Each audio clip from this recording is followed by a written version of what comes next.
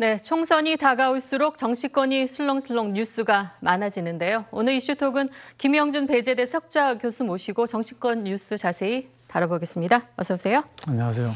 네, 국민의힘부터 살펴볼까요? 혁신위가 사실상 성과 없이 이제 종료가 됐고 해산하자마자 김기현 대표에 대한 퇴진 압박은 더 세지고 있는데 어떻습니까?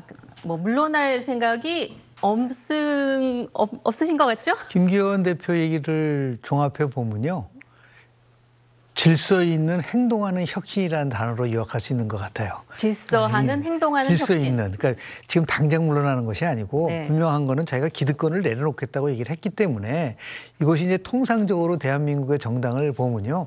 선거 패배, 그다음에 혁신이 출범, 그다음에 비대위 체제로 전환이라는 이 3단계를 거치거든요. 네. 그래서 결국 내년 총선을 앞두고 국민의힘도 그렇고요. 저는 민주당도 비대위 체제로 가는 길로 갈 수밖에 없을 거다. 지금 이낙연 전 대표와 관련된 신당 창당 얘기를 하고 있지만 네. 신당 창당이 목적인지 아니면 친명 비명이 합의하는 비대위 체제로 갈지 그건 더 지켜봐야 될 거라고 좀 봅니다. 오늘 김기현 대표가 최고위에서 당 혁신위 활동 종료와 관련해서 발언을 했는데 어떤 발언을 했는지 먼저 보고 오겠습니다. 저를 비롯한 우리 당 구성원 모두는 국민 눈높이에 맞지 않는 모든 기득권을 내려놓고 사적성의 각오와 민생과 경제를 살리라는 국민의 목소리에 답해 나갈 것입니다.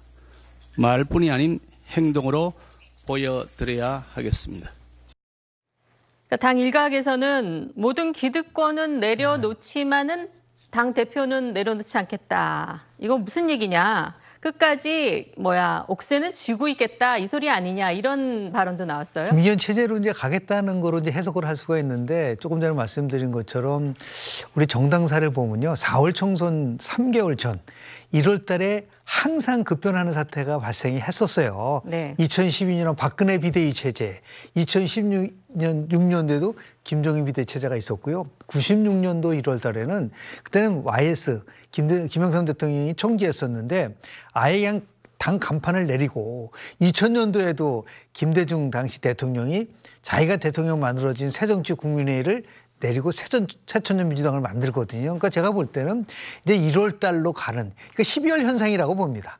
1월 달에 이제 지금 얘기하는 어떠한 것이 다 종합이 돼서 새로운 나름대로의 총선 승리를 위한 판이 저는 만들어질 거라고 저는 봅니다. 네, 지금 12월은 그야말로 과도기에 그렇습니다. 해당하는 시기다 네네. 이런 말씀인 것 같은데 이제 김기현 대표가 공천관리위원회를 뭐 늦어도 다음 주쯤에는 출범을 한다고 얘기를 하고 있는 것 같아요.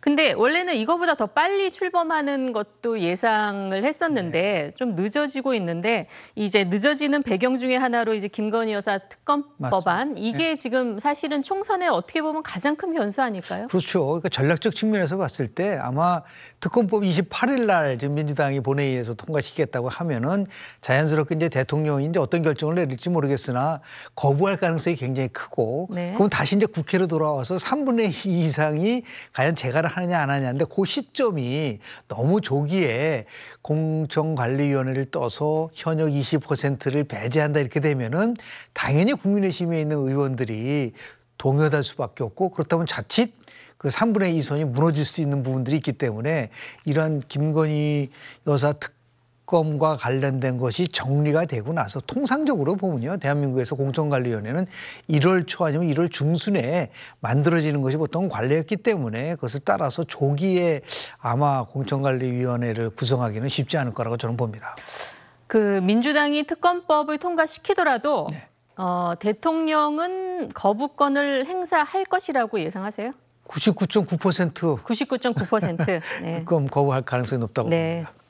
지금 이제 윤석열 정부의 장차관들 뭐 대통령실 참모들이 지금 총선 네. 채비를 하고 있는데 이른바 뭐 강남이라든지 분당 같은 꿀 지역구에 나가겠다 경쟁이 아주 치열한 것 같아요. 여기는 어떻게 보세요? 뭐 과거에 보기 힘든 이례적인 상황이거든요. 예를 들어서 지난 2020년 총선에서 보면은 더불어민주당이 180석을 가져갔잖아요. 그러면 당연히 음, 이 정부에서 핵심 쪽에 있는 분들은 민주당 의원과 경쟁하는 모습을 보여줘야 되거든요. 네. 근데 지금 보면은 뭐 대통령실에 있었던 분들이 영남이라든지 아니면 뭐 강남을 포함해서 좋은 곳을 가겠다고 한다면 제가 볼 때는 받아들이기 어려울 것 같아요. 그거를 이제 깨끗하게 정리하면서 뭔가 개혁 공천이고 국민과 함께하는 공천을 할 수 있는 힘이 어디 있느냐.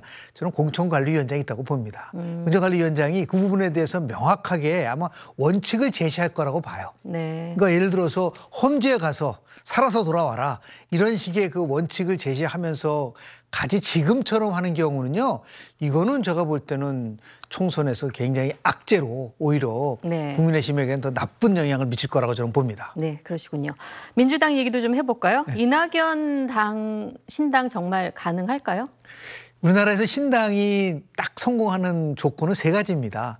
하나는 그 신당이 추구하는 가치가 명확하고 두 번째는 지역적 기반이 있고 마지막 세 번째는 대선 주자급 인물이 주도를 하면은 통상 되거든요. 네. 뭐 95년도에도 보면은 당시에 김대중 총재가 새정치 국민회의 만들면서요 정권 교체하겠다. 그리고 호남을 기반으로 했고 성공했고요.